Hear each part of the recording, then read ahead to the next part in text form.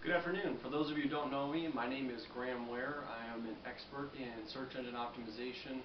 I have a very big background in business process engineering, process improvement, operations, as well as Big Four consulting. I wanted to speak to all of you today because I, involving myself with uh, a lot of different businesses and executives and business owners, there's a common theme and question that I'm asked over and over again. Uh, essentially, what is it or what are the things I could do to help get my presence of my business up on the top of Google and all the major search engines? And what are the major changes coming in 2013 uh, obviously there are many changes that uh, continue to happen within the uh, search engine world. Uh, algorithms are continuing to be expanded upon and things that uh, they, those algorithms are tasked with or targeting are, are continuing to evolve uh, really to shift away from some of the black hat techniques, the companies out there that do things in order to manipulate or get around some of the algorithms to help bolster their rankings or their clients' rankings. Uh, so I thought I'd talk to you about uh, really five of the key things going into 2013 that your business really should be focused on uh, with respect to search engine optimization and what some of these algorithms are really, uh, how they're shifting and evolving and, and what impacts those will have against uh, your website presently. I think the first thing that we can talk about, and this is in no particular order, is the shift between uh, how blogs are actually being written and, and published. Uh, the olden days, and by olden days I mean three months and beyond uh, ago, uh, there was the publisher rank. Uh, publisher rank would really look at how many blogs were out there, the links, and things of that nature. It really didn't scale though or identify the fact that you might have a high authority ranking blogger who uh, might have a journalism type background or have written for major media publications uh, and they're out there and they're hired by various companies and entities to write you know good content for their for their blogs. In doing so really um, they now have created a multiple topics. They might be writing about political things one minute and then writing about pizza restaurants the next. So Google is really shifting the emphasis and the focus of how blogs are actually written and conduct, conducted. And in doing that, they've actually registered a patent last year uh, for authorship, or what they call author ranking. And that's really going to be predicated and based on uh, several variables and factors, but the top three uh, really that focus on, on author ranking really come down to topics, making sure that the topics that the blogger uh, that is writing uh, on are actually relevant and consistent. Uh, and with that, there's actually, a, uh, for those of us who are experts in the industry, uh, should know, and hopefully the companies and those that you rely on who are doing this for you, uh, actually know the verification process. There's an actual blog verification process now in place that will tie your website to the blogs that are being written. So a little bit more of a, an authority uh, or an authoritative approach on that uh, as well as an authentication. Uh, so making sure the topics are relevant, that the authentication is actually verified. Uh, obviously the topics as uh, the topics are being written the blogs are being written, really the effort and the essence is to identify those blogs as being written by people who are experts in your industry. Uh, you know, not people who just have popularity because they're writing a million different blogs for a million different industries.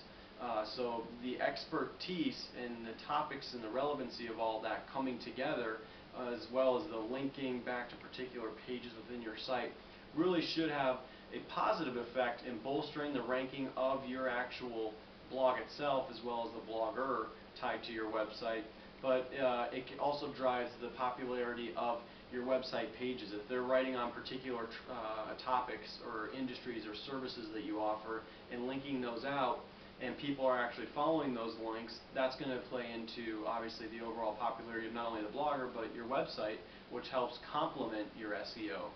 Uh, kind of the, the third entity of that, again, is kind of the links, making sure the links are relevant, um, making sure that you're not link farming. A lot of uh, us in the industry, we've heard about the second wave of Google uh, Penguin coming out, which is basically an algorithm tasked at attacking sites who are uh, linking out to uh, various spam uh, type uh, websites, fish, phishing, and just a lot of uh, irrelevant backlinks. Uh, and you know, I have several clients. Uh, one that I just did uh, where he had 1,900 backlinks, uh, many of which were unbeknownst to him.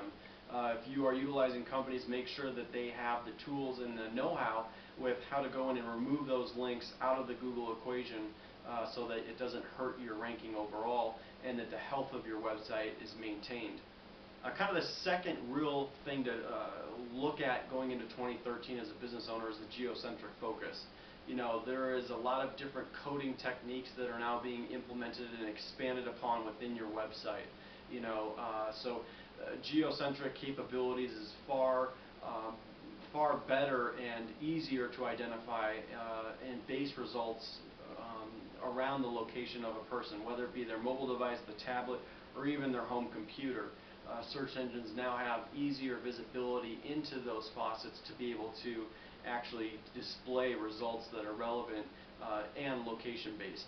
So in essence, that will impact websites because kind of the old way of doing it was you might have one particular keyword that is a service or product or an industry that you're in, but you have 36 cities around it, so that one keyword now becomes 37 keywords, uh, which then led to keyword stuffing and so on and so forth. So a lot of that is slowly starting to tighten up, and uh, the geocentric focus is actually going to be expanded in many, many ways. And there are, as I said, a lot of different um, functional things that you can do within the website in coding in order to help kind of meet uh, that and make it easier for the bots to identify. Uh, the third thing, really, Matt Cutts, who's the, the Google wizard, if you will, last month spoke at the SMX conference, and uh, not verbatim, but he essentially said that if you have not looked at your website from a mobile or a tablet, and uh, you don't know how long it takes to download or view, uh, you're probably going to be in trouble heading into 2013. So you want to make sure your website is mobile friendly. It pulls up uh, in various tablets and uh, on various devices. And not only that, but the speed in which that actually occurs, making sure that that is actually appropriate as well. Because if it's slow, uh, you know that's going to affect your bounce rate. It's also going to in turn affect your overall SEO ranking. The fourth one being uh, social media. Social media, uh, social media rankings is a term being thrown out there, identifying popularity, uh, shares, likes, comments, engagement, how people are actually utilizing your business social media pages. Uh, there's kind of a talk about uh, an indirect war on RSS. A lot of companies will come to you and sell you the the convenience factor of doing everything for you, but often you look and you see that it's RSS uh, fed. That means is basically when I update my blog, it also hits my Twitter and my Facebook, but your audience who is following all three of those is valuable. And in order to retain them, you're going to want to make unique posts. Uh, and there's going to be a fine balance to that. Not to say that RSS is going by uh, completely, but there's going to be a, a much bigger balance and, and, a shift in that. Uh, lastly, I think the, the major thing that you want to look at too, it's always been around, is the on-page optimization, on-site optimization. You know, before, as I said, a lot of SEO is based on backlinks and traffic, and there's a lot of different manipulative tactics that uh, some companies unfortunately chose to use. Uh, but that scale has shifted, and I think now uh, really looking at on-site optimization, making sure that obviously keywords and metadata are still going to be a factor, but making sure that it's balanced and that it's uh, appropriate uh, throughout each page in your website. So really, that, those are the five things, just to kind of recap, you know, the, how you're doing the blogs, uh, the geocentric focus, making sure you have a mobile-friendly uh, website, having social media engagement, making sure that your management of that is uh, appropriate, and then obviously the on-site continued optimization. Uh, those are really the five key things as a business owner I would recommend to you heading into 2013. Uh, certainly look forward to working with all of you. If any of you have uh, any questions or if anything I can be of assistance to, certainly feel free to contact me. Otherwise, I certainly appreciate your time. Thank you so much.